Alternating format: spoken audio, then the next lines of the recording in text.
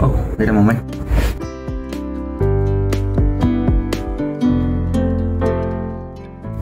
So I just reinstalled Office because I reinstalled Windows.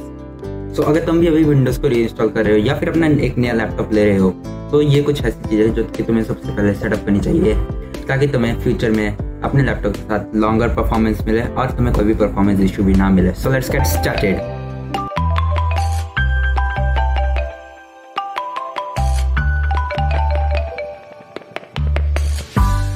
तो सबसे पहली चीज़ तो तुम्हारी सेटअप के दौरान ही हो जाती है जहाँ पे तुम्हें कई सारी परमिशन देती है आई मीन कई सारी।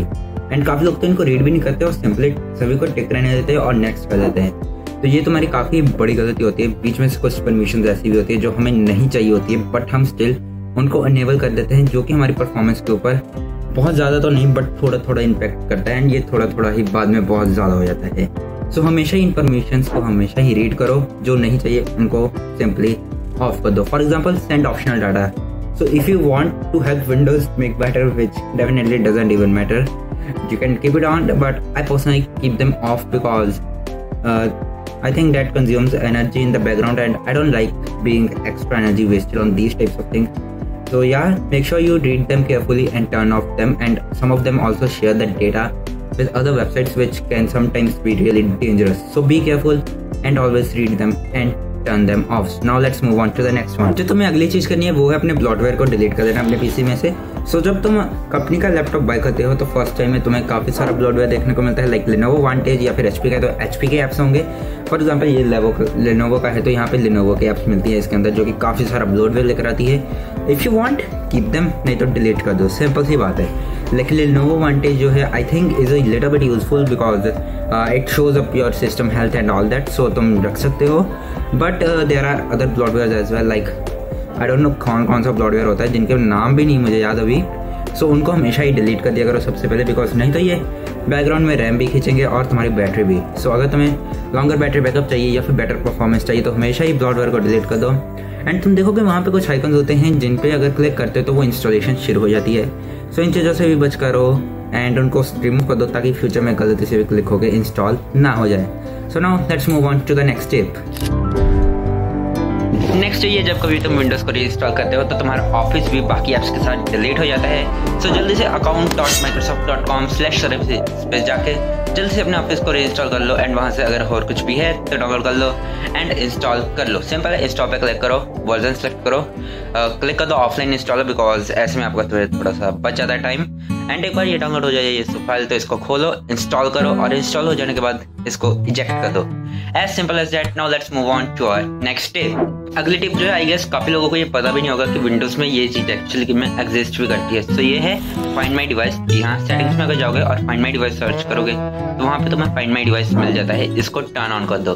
तो in case I never wish for that but in the worst case scenario अगर तुम्हारा लैपटॉप कभी गुम जाता है या फिर चोरी हो जाता है तो तुम जो है accounts dot microsoft dot com पे जाके अपने लैपटॉप लैपटॉप को जो है ट्रैक कर सकते हो और सिंपली उसकी लोकेशन को फाइंड आउट कर सकते हो। एंड अगर घुमाए तो जाके ले आओ और अगर चोरी हुआ है तो ये डिटेल्स पूरी लिस्ट के साथ शेयर करो और अपने लैपटॉप को वापस ले लो और चोर को भी पकड़ा दो। तो now let's move on to our next step that you should do after reinstalling और buying a new laptop next thing जो तुम्हें करनी है वो है अपने विंडोज़ को अपडेट करना और साथ ही साथ ड्राइवर्स को भी अपडेट करना। अक्सर ऐसा होता है। हमारे पास कई सारे अपडेट्स आए होते हैं मेजर अपडेट्स होते हैं या फिर ड्राइवर अपडेट्स होते हैं, जो कि हमें खुद मैनुअली करने रहते हैं, वो ऑटोमेटिक नहीं होते हैं। जिनके लिए आपको स्कैन करना पड़ता है और फिर जो है उनको इंस्टॉल करना रहता है। सो हमेशा ही सेटिंग्स में जाके वेरीफाई कर लो कि कोई भी अपडेट पेंडिंग नहीं है। अगर कोई अपडेट पेंडिंग है तो उसे, उसी वक्त करो और अपने पीसी को रिस्टार्ट कर दो। बिकॉज़ इस समय तुम्हारा पीसी जो है एकदम ही नई कंडीशन में है एंड ये अपडेट्स काफ़ी अच्छी तरह से अप्लाई होंगे as compare to once you have started using your PC so make sure you always update your drivers and your other Windows updates, like security updates and others, to make sure you get a better performance in the future. Next is antivirus जी हाँ अक्सर जो है हमारे laptops के साथ जो है कई बार फ्री ट्रायल्स आते हैं एंटीवायरस के या फिर कुछ प्री इंस्टॉल्ड ही होते हैं तो हमें वो नहीं चाहिए, उनको सिंपली डिलीट कर दो। बिकॉज़ माइक्रोसॉफ्ट डिफेंडर आजकल मोर देन इनफ है for the most of the population like 95 percent जो है Microsoft Defender is okay safe and trusted तो तुम्हें पेड एंटीवायरसेस की कोई ज़रूरत नहीं है उनको सिंपली डिलीट कर दो। वैसे भी वो फ्री ट्रायल है एक समय के बाद एक्सपायर हो जाएँगे।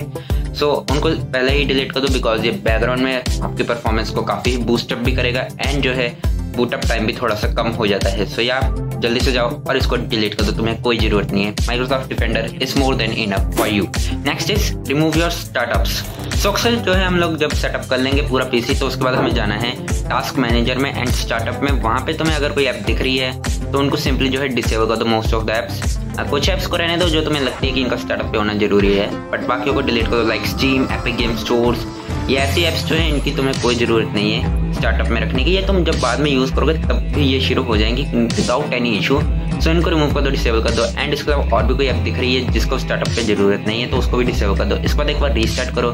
एंड तुम्हारा पीसी जो है बूटअप टाइम कम लेगा और जो है परफॉर्मेंस भी बढ़िया देगा। बिकॉज़ ये स्टार्ट नहीं होंगे स्टार्टअप पे सो विच मीन्स कि अगर स्टार्टअप पे स्टार्ट होंगे तो ये डेफिनेटली बैकग्राउंड में चल रहे होंगे। अगर नहीं होंगे तो बैकग्राउंड में जो है प्रोसेसिंग फास्टर होगी। सो इसलिए स्टार्टअप में से इन ऐप्स को रिमूव कर दो, जो तुम्हें नहीं चाहिए। रिमूव तो नहीं आई मीन डिसेबल कर दो डेफिनेटली रिमूव तो नहीं करोगे।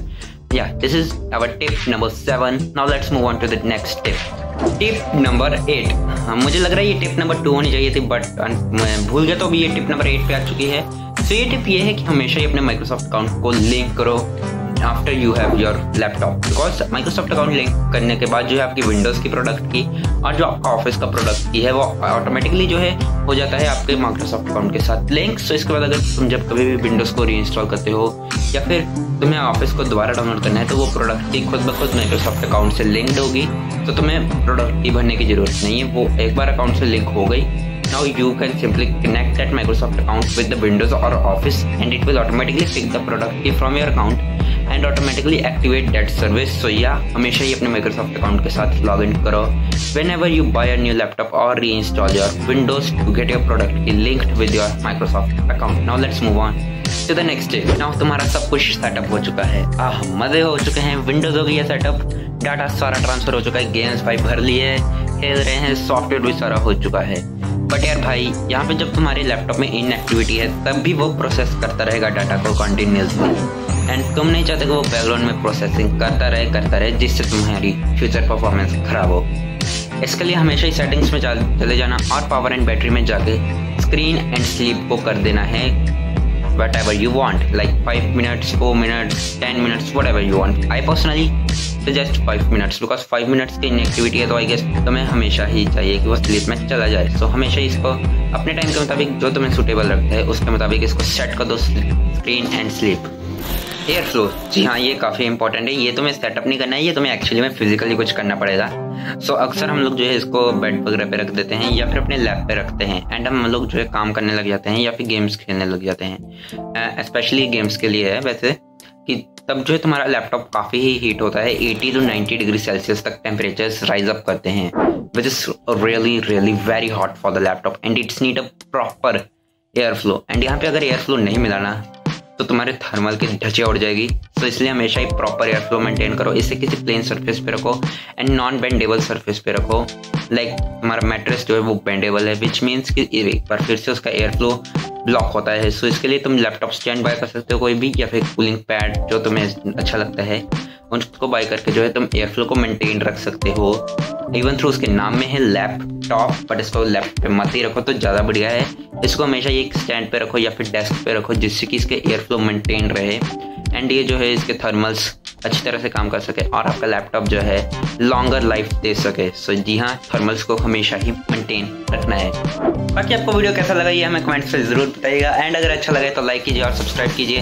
ताकि हम ऐसे ही वीडियो फ्यूचर में भी लाते रहे। एंड हाँ मुझे पता है यार, ये वीडियो और लास्ट वीडियो में काफ़ी बड़ा डिफरेंस है। बट आई एम सॉरी यार, पिछले कुछ महीनों में कुछ ऐसी चीज़ें हुई हैं जिसकी वजह से वीडियो नहीं बना सकता था। लाइक एग्ज़ाम्स आ गए, कभी कभी कोई फ़ंक्शन आ गया, कभी कोई स्कूल में फ़ंक्शन आ गया तो कभी कभार नहीं मिल पाया टाइम वीडियोस बनाने का। बट हाँ आई नो काफ़ी डिफरेंस है सो सॉरी फॉर डैट बाकी अभी मैं कोशिश करता हूँ कि यार वीडियो बनाऊँ जितनी हो सके बट यार टाइम नहीं मिलता है कभी कभार बिकॉज़ हायर स्टडीज़ हैं। बाकी वीडियो कैसा लगा, ज़रूर बताएगा कमेंट में। तब तक के लिए बाय बाय